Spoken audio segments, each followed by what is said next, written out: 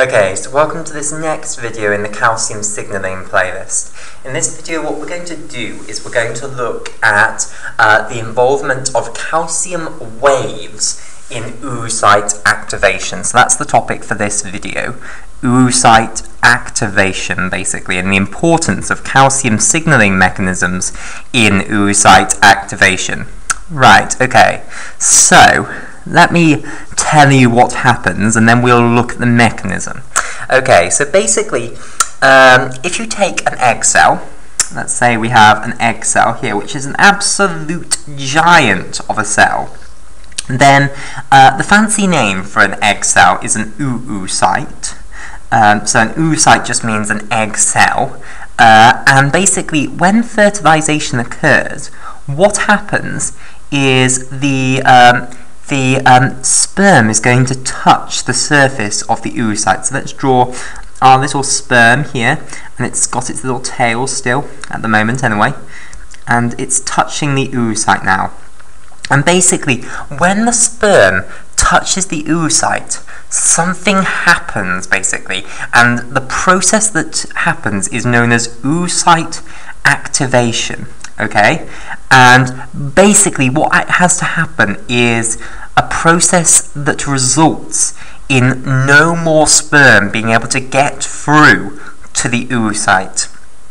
Okay, so that's overall what oocyte activation means. It means this process that's going to prevent polyspermy, basically. So this prevents what's known as polyspermy, which is more than one sperm fertilizing the egg. Prevents polyspermy.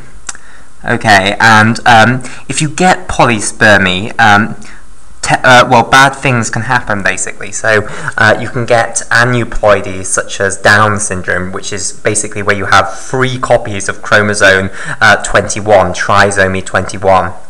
And that's because, well, potentially because uh, multiple sperm fertilize the egg, and most of the genetic material of that extra sperm gets thrown away, but chromosome 21 remains. So you end up with three chromosome 21s. Okay, so you want to stop polyspermy because it leads to terrible um, problems. So basically, once one sperm has touched the egg, it undergoes a process whereby it seals uh, the zona pellucida, which is like its protective glycoprotein shield. So around the entire oocyte, you have a great big protenergic shield, basically, which is called the zona pellucida. And sperm can get through the zona pellucida, but uh, what's going to happen is that when uh, the oocyte activation process happens, it's going to modify the zona pellucida so that no more sperm can get through it, basically, so that only one gets through the zona pellucida. Right, okay, so in this activation process, in this oocyte activation process, calcium waves are extremely important. Basically, when the sperm touches, what starts to happen is close to where the, cal the sperm touched, calcium goes up. So calcium goes up here, and basically you get waves of it. So the calcium goes up here, and then it triggers the calcium to go up in the neighboring area, and then the neighboring area after that. So calcium just goes up, and you get this wave of calcium spreading across the cell. And this is not, I repeat, this is not just the calcium diffusing. It's not just calcium going up here and then diffusing out. Because when you actually look at the calcium concentration, maybe somewhere way out over here, it's actually just as high as the initial calcium concentration there. Basically what's happening is calcium concentration going up here causes calcium to go up over here, which then causes calcium to go up over here. Calcium calcium is released over here as well, and it's intracellular stored, so we'll see, we'll look at the mechanism of this. But you get these regenerative um, bursts of calcium all the way across the cell, and this is known as calcium wave, a calcium wave, basically. So, when the sperm touches um, the egg, it triggers these waves of calcium that spread across the oocyte. Okay, right. Uh, so um, these experiments, by the way, uh, well, we'll describe the experiments later, but I'll just say that most of what we know was done in a specific oocyte, and the mechanism I'm going to describe for you now is what's believed to happen in that oocyte. And basically, we use something known as the Xenopus oocyte. Okay, so Xenopus is basically a species of little frog, basically.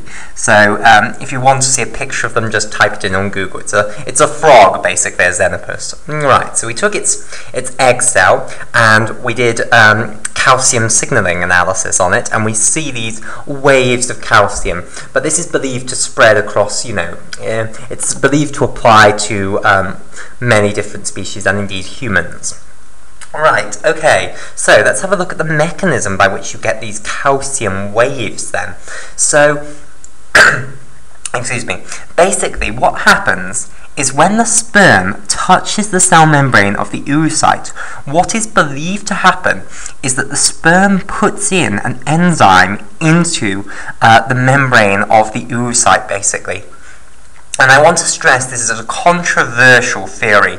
It's not rock solid science. Well, no science is rock solid, but um, this is less rock solid than most science. It's still an area of active research, and maybe in years to come, what I'm saying will uh, not be true anymore, will not be believed to be true anymore. But I'm telling you what is uh, believed to be true at the moment. Right, so what's believed to happen is that the sperm transfers an enzyme into the cell membrane of this Xenopus oocyte, basically. So, let's draw the um, phospholipid bilayer of our oocyte. And basically what's going to happen is this enzyme is going to go into the membrane of the, of the uh, oocyte. Okay, so what is this enzyme? Well, it's a type of phospholipase C um, which is an enzyme that we know of because, you know, we've studied phospholipase Cs many times. But this is a specific type of phospholipase C. It's phospholipase C zeta, which is a terrible Greek letter. Uh, so this is the Greek letter zeta. Now, basically, there are many different types of phospholipase C enzymes in the world, and this is a new one, phospholipase C zeta. Usually, the phospholipase C that's in the uh, GQ pathway uh, coupled to G proteins, it's generally phospholipase C beta, but this one has been named phospholipase C zeta. Right, so the sperm transfers this phospholipase C zeta, which from now on I will denote PLC for phospholipase C, and then uh, zeta, like so.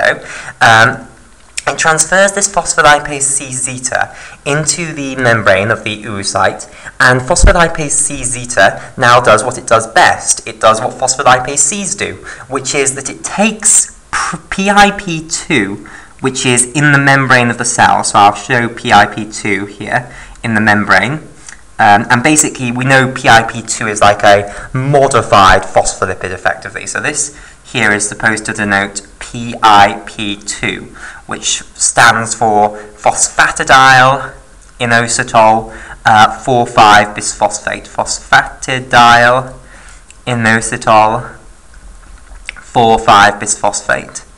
Okay, right. Uh, and it takes that phosphatidyl inositol 4,5 bisphosphate, which is in the generally in the inner leaflet of the phospholipid bilayer, and it converts it, it breaks it down into IP3 inositol 145 trisphosphate, and also diacylglyceride. So here is diacylglyceride.